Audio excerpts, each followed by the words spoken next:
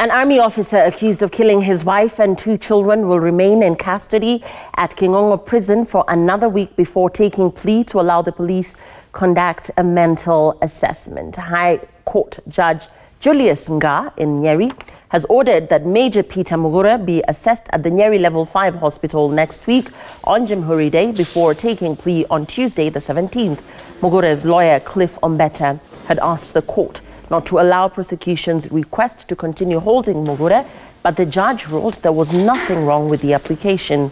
Prosecution counsel Peter Marani told the court that police had failed to secure a mental assessment on Mugure at the Nanyuki General Hospital, causing the movement to Nyeri PGH.